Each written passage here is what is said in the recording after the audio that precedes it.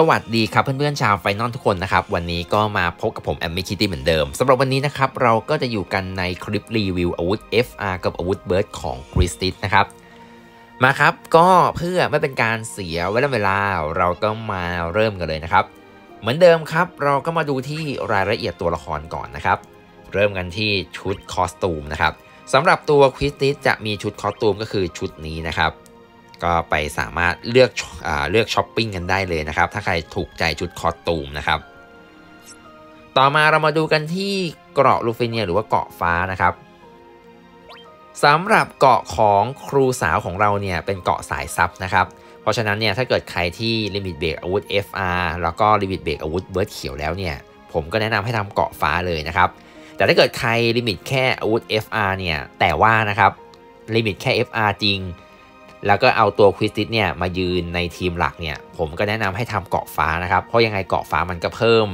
อ่า HP damage limit ให้ปาร์ตี้อยู่แล้วนะครับ ยังไงก็โอเคนะครับ แต่ถ้าเกิดเราไม่ได้ใช้ยืนทีมหลักก็ไม่ต้องอาทำเกาะฟ้าก็ได้นะครับ อยู่ที่เพื่อนๆจะเลือกทำเลยนะครับต่อมามาดู type การโจมตีนะครับสำหรับการโจมตีของครูสาวของเรานะครับ จะเป็น damage กายภาพระยะใกล้ทั้งหมดเลยนะครับ สำหรับ sphere แนะนำนะครับก็จะมีลูก D และลูก E นะครับเราก็มาเริ่มกันที่ลูก D นะครับสำหรับลูก D เนี่ยก็จะมีอ่าสองเงื่อนไขนะครับ เงื่อนไขที่1นะครับก็คืออ่าเงื่อนไขเมื่อเราโจมตีนะครับนี่นะฮะก็จะมีโจมตี critical hit ของซิดเน่นะครับแล้วก็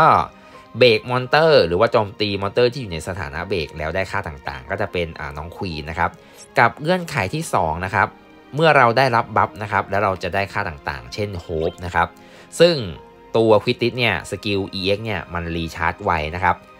กดสกิลแค่ 1-2 ครั้ง เราก็จะสามารถกดสกิล EX ได้เลยนะครับซึ่งบัฟจากสกิล EX เนี่ยมันได้เรื่อยๆนะครับทำให้ตัวโฮปเนี่ย sphere ของโฮปสามารถใช้งานได้นะครับ แล้วก็ตัว buff เนี่ยของ buff ประจำตัวของควิสติสจะมีไม่เยอะนะครับ มีแค่หลักๆ คือ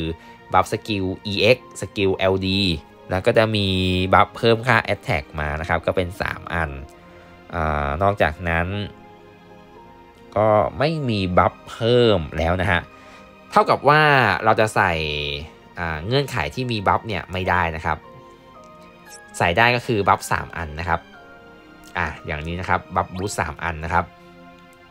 เมื่อมีบัฟบนหัว 3 อัน เราก็จะได้ค่าต่างๆนะครับแต่ถ้าเกิดเรามีบัฟของเพื่อนเพิ่มเนี่ยให้มันเกิน 5 เราก็สามารถใส่ของวักกะได้นะครับ อันนี้อยู่ที่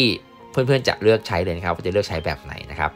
ถ้าเกิดไม่มีตามที่ผมแนะนำมาเนี่ยก็ up to you ได้เลยนะครับ ใส่อะไรก็ได้นะครับ ส่วนลูกดีนะครับก็จะมีอของตัวควิสติสเองนะครับ ที่เมื่อแปะ debuff นะครับจะได้ค่า Max Brave นะครับ สำหรับเงื่อนไขเนี่ยก็คือผมเน้นไปที่เงื่อนไขในการแปะ debuff นะครับ แล้วก็อันที่ 2 ก็จะเป็นยัฟฟี่นะครับ ส่วนอันอื่นเนี่ยก็สามารถเลือกใช้ได้ตามใจเลยนะครับ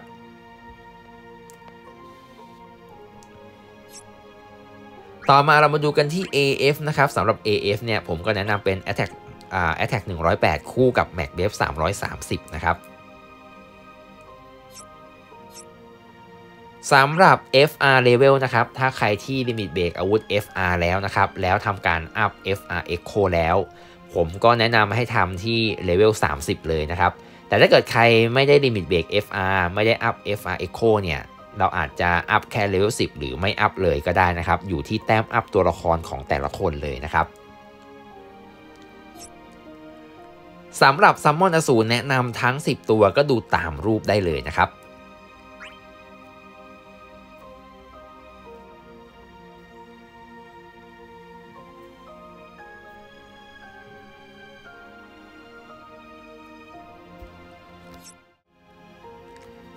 ต่อมาเราก็มาดูที่คริสตัลพาสซีฟนะครับสำหรับคริสตัลพาสซีฟเนี่ยผมก็ต้องบอกเหมือนเดิมนะครับว่าการเลือกใช้ crystal passive เนี่ยไม่มีอะไรตายตัวนะครับ อยู่ที่ตัวเพื่อนๆเลยนะครับว่าจะเลือกใช้ passive แบบไหนนะครับในส่วนของคลิปเนี่ยก็จะเป็นการแนะนำเบื้องต้นนะครับสำหรับ crystal passive ของควิสติสเนี่ยเราก็มาดูรหัสกันเลยดีกว่านะครับ เริ่มที่รหัส A นะครับก็จะมี A1 A3 กับ A5 นะครับ สำหรับ A1 เนี่ยก็เพิ่มค่า Attack Max Brave สูงสุดคือ 50%นะครับ ส่วน A3 ก็จะเป็นเพิ่ม b a f Damage เพิ่ม HP Damage นะครับ แล้วก็เพิ่ม HP Damage Limit 10%นะครับ โดยการที่แลกกับข้อเสียนะครับ buff บนหัวเนี่ยจะลดลงไวขึ้นนะครับ ก็คือลดลง 2 turn ต่อการออก action 1 ครั้งนะครับ แต่ว่าตัวควิติสเนี่ยสกิล EX นะครับ มัน recharge ไวมาก กด skill แค่1หรือ2 ครั้งเนี่ย เกรด EX ก็เต็มแล้วนะครับ เพราะฉะนั้นเนี่ยบัฟจากสกิล EX เราจะได้เรื่อยๆ ไม่ขาดเลยนะครับ ผมก็เลยมองว่า A3 เนี่ยมันใช้ได้นะครับ ส่วน A5 นะครับก็จะเป็นการเด้งเบฟคือ 100%หลังตีเลือดนะครับ ยกเว้นฮิตสุดท้ายสำหรับอันนี้เนี่ยผมก็เอามาใช้เพื่อที่จะการันตีนะครับว่าการโจมตีของฟิติสเนี่ยจะติดแคปทุกดอกนะครับ เพราะว่าบางด่านเราอาจจะโดนลด โดนลดค่าการเด้งเบฟแรงอะไรอย่างนี้เนี่ยการเด้งเบฟคืนของฟิติก็อาจจะไม่สูงพอที่จะทำให้ติดแคปนะครับ เราก็เลือกใช้ A5 เพื่อทำให้ติดแคปการันตีแน่ ๆเลยนะครับ ต่อมาก็จะเป็นรหัส U นะครับ ซึ่งรหัส U เนี่ยผมก็คิดออกอยู่แค่อันเดียวนะครับ ที่ดูแล้วมันเข้าท่าสุดนะครับ ก็คือ U1 นะครับ บัฟกรอบทองที่เพิ่มค่า Attack มีผลของเวฟรีเจนกับ HP รีเจนนะครับ ส่วนพวก U2 3 4 5 6เนี่ย อันนี้ก็เลือกใช้ตามสถานการณ์หรือว่าเลือกใช้ตามสไตล์ของแต่ละคนได้เลยนะครับ ซึ่งตัว D-Doc เองก็เช่นกันนะครับ ซึ่ง D-Doc เนี่ยใส่อะไรก็ได้นะครับอ่าเอาเอาจริงๆแล้วเนี่ยตัวดีผมแทบจะไม่ได้ใช้เลยนะครับ แต่ก็อยู่ที่แต่ละคนจริงๆนะครับสำหรับ Passive Crystal แนะนำก็ประมาณนี้นะครับเราก็มาเริ่มดูรายละเอียด skill กันเลยนะครับ สำหรับ skill หนึ่งนะครับ จะทำการเด้งเบฟให้กับฝั่งเราทุกคนก่อนนะครับ โดยค่าเบฟที่เด้งเนี่ยก็คิดจากค่า Max Brave นะครับ ส่วนการโจมตีจะทำการตี Brave 2ฮิตนะครับ แล้วก็ตีเลือดเป้าหมายที่เราเลือก โดยจะโจมตีแบบนี้ทั้งหมด 6 ครั้งนะครับ สามารถตีเกิน Max Brave เนี่ยได้ทั้งหมด 150%เป้าหมายหลักนะครับจะโดน damage 100%และเป้าหมายข้างจะโดน damage 50%หลังจากนั้นจะทำการดัน turn monster เป้าหมายนะครับ1 turn แล้วก็ทำการแปะ debuff monster เป้าหมายนะครับอ่าเป็น debuff ลด turn rate 4 turn นะครับ ส่วนตัว Quistis เองจะได้รับ buff เพิ่มค่า attack จำนวน 6 turn นะครับ ซึ่งเป็น buff กรอบขาวธรรมอ่าเป็น buff ธรรมดานะครับ ไม่ใช่ buff กรอบขาวนะครับ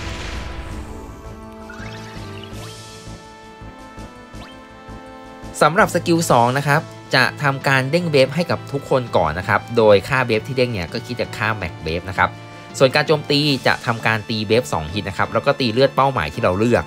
โดยจะโจมตีแบบนี้ทั้งหมด 8 ครั้งนะครับสามารถตีเกิน max brave เนี่ยได้ทั้งหมด 200%หลังจากนั้นจะทำการดัน turn เป้าหมายนะครับจำนวน 3 turn เราก็ทำการแปะ debuff เป้าหมายนะครับลดค่า speed 3 turn นะครับส่วน skill 2เนี่ยจะเป็น skill ที่ได้ turn ต่อเนื่องทันทีนะครับหรือว่า instant turn นั่นเองนะครับ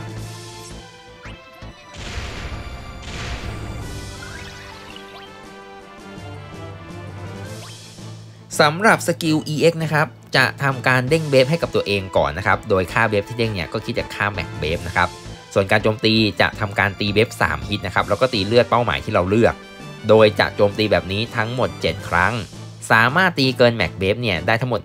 150%เป้าหมายหลักจะโดน damage 100%และเป้าหมายข้างจะโดน damage 50%หลังจากนั้นนะครับจะทำการเด้งเบฟให้กับฝั่งเราทุกคนนะครับ โดยคิดจาก HP damage ที่ทำได้นะครับ แล้วก็ตัวเป้าหมายที่เราเลือกโจมตีเนี่ยจะโดนดัน turn ไปข้างหลังจำนวน 2 turn นะครับเราก็ทำการแปะ debuff หมู่นะครับมี debuff ลดค่า speed และ debuff F นะครับจำนวน 4 turn นะครับส่วนตัว Quistis เองจะได้รับ buff IW นะครับจำนวน 6 turn นะครับ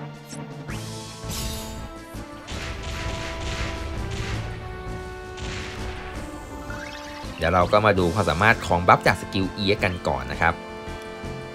IW อันนี้นะครับ สำหรับความสามารถของ buff IW นะครับในส่วนที่ให้กับตัว Quistis เองนะครับ อย่างแรกนะครับจะเพิ่มค่า Attack 40%อย่างที่ 2 เพิ่มค่า Max b a f 50%อย่างที่ 3 เพิ่มค่า HP Damage 20%และอย่างที่ 4 นะครับ เด้งเบฟคืน 20%หลังการตีเลือดนะครับ ในส่วนที่ให้กับปาร์ตี้นะครับก็มี 2 อย่าง อย่างแรกนะครับ เพิ่มค่า Overflow นะครับ 40%และอย่างที่ 2 สามารถเด้งเบฟเกินแม็กเบฟได้อีก 40%นะครับ ต่อมาเรามาดูความสามารถของ skill 65 นะครับสำหรับ skill 65 มีผลให้กับปาร์ตี้ทุกคนนะครับ อย่างแรกนะครับจะทำการเติม skill 1 และ skill 2 บวก 1 ครั้งนะครับ แล้วก็อย่างที่ 2 เพิ่มค่า Attack นะครับ 20%อย่างที่ 3 เพิ่มค่า Overflow 10%และอย่างที่ 4 นะครับ เพิ่มค่า b a v e Damage Limit นะครับ อีก 20%นะครับสำหรับ skill LD นะครับ อย่างแรกนะครับ จะทำการเด้งเบฟให้กับฝั่งเราทุกคนก่อนนะครับ โดยค่าเบฟที่เด้งเนี่ยก็คิดจากค่า max brave นะครับ ส่วนการโจมตีจะทำการตีเบฟหมู่ 4 ฮิตนะครับ แล้วก็ตีเลือดหมู่ โดยจะโจมตีแบบนี้ทั้งหมด 5 ครั้งนะครับ สามารถตีเกิน max brave เนี่ยได้ทั้งหมด 180% damage เป็น damage หมู่แบบไม่หารนะครับ หลังจากที่โจมตีเสร็จแล้วจะทำการดัน turn monster ทั้งหมดนะครับจำนวน 2 turn ส่วนตัว Quistis เองจะได้รับ buff II นะครับจำนวน 12 turn นะครับ แล้วก็ทำการเติม skill 2อีก 1 ครั้งนะครับ เรียกได้ว่าเราสามารถ spam skill 2ได้เลยนะครับ เพราะว่ามีการเพิ่ม skill ค่อนข้างเยอะนะครับ เดี๋ยวเรามาดู buff จาก skill LD กันก่อนนะครับ II อันนี้นะครับสำหรับ buff จาก skill LD นะครับก็จะมีขั้นทั้งหมด 3 ขั้นนะครับ การเพิ่มขั้นก็ไม่ยากนะครับ ให้ฝั่งเราเนี่ยได้ turn นะครับขั้นก็จะเพิ่มขึ้น แต่ถ้าเกิด monster ได้ turn ขั้นก็จะลดลงเหลือขั้นหนึ่งนะครับ ความสามารถให้กับปาร์ตี้ทุกคนนะครับ อย่างแรกมีความสามารถในการดัน turn 100%นะครับสำหรับดัน turn 100%เนี่ยเฉพาะ Quistis เท่านั้นนะครับ ส่วนต่อมาเนี่ยจะให้กับปาร์ตี้นะครับสำหรับส่วนที่ให้กับปาร์ตี้อย่างที่2นะครับเพิ่มค่า Attack และเพิ่มค่า Back b a นะครับจำนวน 50%อย่างที่ 3 เพิ่มค่า brave Damage 30% อย่างที่ 4 เพิ่มค่า HP Damage 30%และอย่างสุดท้ายนะครับ สามารถเด้งเบฟแรงขึ้นอีก 30%นะครับ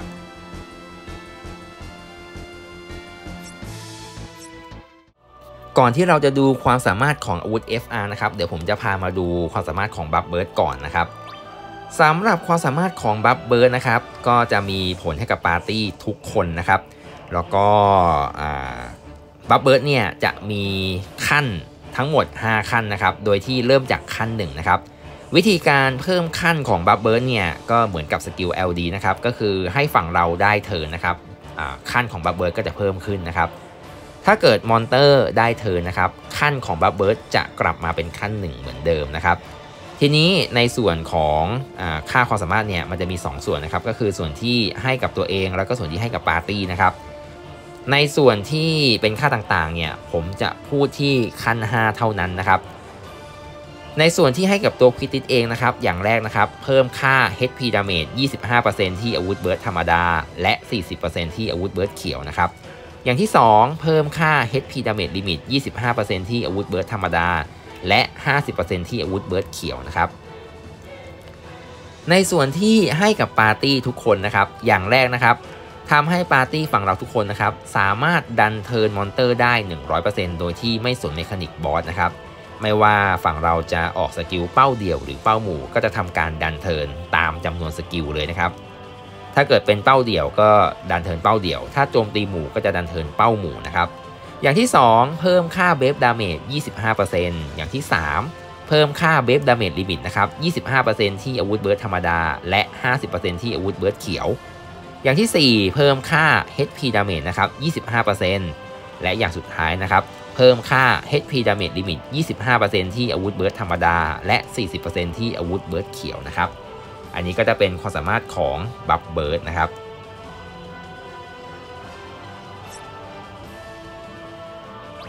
สำหรับสกิล FR นะครับ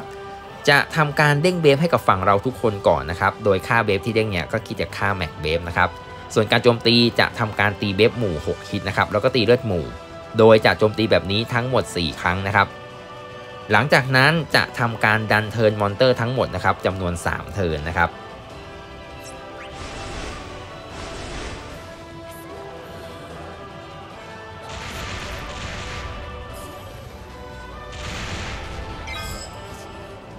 บอกได้คำเดียวว่าถ้ามี Quistis อยู่ในทีมนะครับ turn หายเลยนะครับ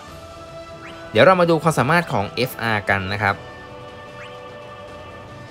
สำหรับ FR Mode หรือว่า FR Effect นะครับไม่มีความสามารถนะครับ ส่วนเงื่อนไขในการเพิ่มเปอร์เซ็นต์ HP โบนัสนะครับก็มีทั้งหมด3เงื่อนไขนะครับ เงื่อนไขที่ 1 เมื่อทำการเด้งเบฟให้กับทุกคนนะครับจะได้ 20%เงื่อนไขที่2นะครับเมื่อทำการดัน turn นะครับจะได้ 20%สำหรับเงื่อนไขที่2เนี่ยดันเทิร์นจากการเบรกถือว่านับนะครับ เงื่อนไขที่ 3 ดันเทินเหมือนกันนะครับ แต่ว่าได้ 35%แล้วก็เงื่อนไขที่ 3 เนี่ย ดันเทินจากการเบรกไม่นับนะครับ อันนี้ก็จะเป็นความสามารถของ FR ของครูคริสติสของเรานั่นเองนะครับ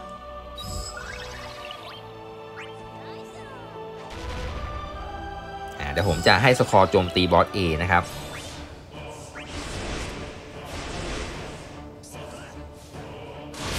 เห็นไหมครับว่าบอส A ก็จะโดนดัน turn เหมือนกับตัว Quistis โจมตีเลยนะครับ อันนี้ก็คือความสามารถของ buff Burst นั่นเองนะครับ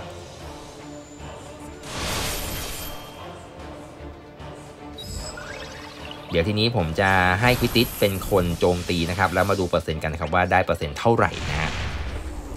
ถ้าเกิดตัว Quistis โจมตีเองนะครับก็จะได้ทั้ง 3 เงื่อนไขเต็มๆเลยนะครับ ก็คือ 85%นะครับ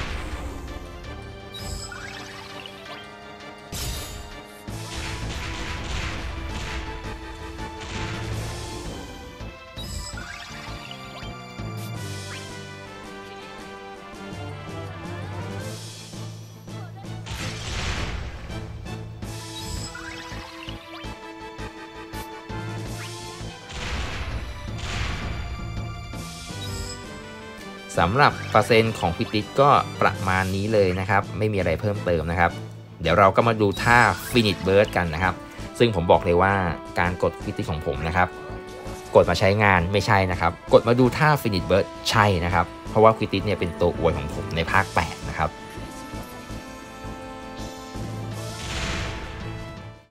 ต่อมาเรามาดูความสามารถของ Core Ability กันนะครับ ก็เหมือนเดิมครับ เริ่มที่ Core เงินนะครับ สำหรับคอเงินไม่มี Special Effect นะครับ จะออกมาโจมตีพร้อมกับทำการดันเทินเป้าหมายที่เราเลือกนะครับจำนวน 3 เทินนะครับ เมื่อออกมาถ้าเกิดเราใส่พาสซีฟทุกอย่างครบนะครับ ตัวควิติสจะทำการแปะดีบัฟประจำตัวของเขา 4 เทินทันทีนะครับ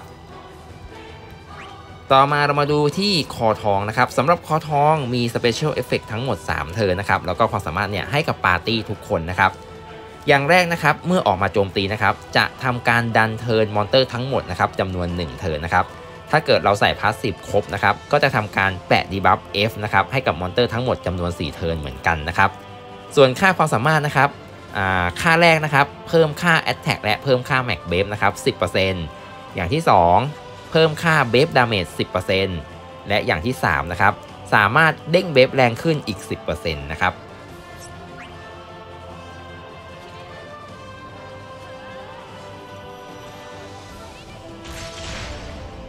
อันนี้ก็จะเป็นความสามารถของคอเงินและคอทองของควิสติสนั่นเองนะครับ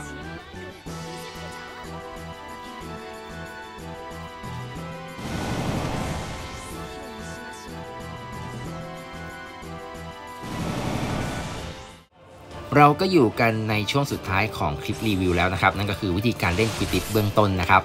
สำหรับวิธีการเล่นควิติสเบื้องต้นก็ไม่ยากเลยครับ เราสามารถเล่นตามหน้างานได้เลยนะครับ แต่ว่าหลักๆแล้วนะครับ การเล่นควิติสเนี่ยเราจะเอานางมายืนแจก aura buff Burst นะครับ เราจะไม่ได้เอานางมาเปิด Burst ใหญ่นะครับ เพราะว่า skill ส่วนใหญ่ทำ damage ไม่คุ้มนะครับ ทีนี้เดี๋ยวเรามาดูตัว skill กันดีกว่านะครับ ว่า skill ไหนเราจะกดในจังหวะไหนบ้างนะครับสำหรับตัว skill หนึ่งนะครับก็เอาไว้เร่ง gauge EX นะครับแล้วก็ทำการดัน turn เป้าหมายที่เราต้องการนะครับ เราก็กดได้เลยนะครับ ส่วน skill 2เป็น skill ที่มี instant turn นะครับ ถ้าเราต้องการได้ turn ต่อเนื่องแล้วก็ดัน turn เนี่ยเรากดได้เลยนะครับ โดยที่ตัว skill 2เนี่ยจะ limit สูงสุดคือ 5 ครั้งนะครับ แต่เราสามารถเติมเพิ่มได้อีก 4 ครั้งนะครับ แต่เราต้องกดทิ้งก่อนนะฮะอ่าพอกดไปแล้วนะครับ ถ้าเกิดสกิล EX เต็มเราก็กดได้เลยนะครับ เพราะว่าตัวสกิล EX เนี่ยมันมี buff ประจำตัวของนางนะครับ คู่กับสกิล LD นะครับ เดี๋ยวต่อมาเราก็มาดู skill 65 กับ LD ของ Quistis กันนะครับ ซึ่ง skill ของ Quistis เนี่ยก็ไม่ค่อยมีอะไรมากนะครับ อันนี้กดผิดนะครับ จริงๆ ผมจะกดสกิล EX นะครับ ลืมไปว่าเมื่อกี้กด LD ไว้นะครับ หน้า skill มันเลยกลายเป็น skill Burst นะครับ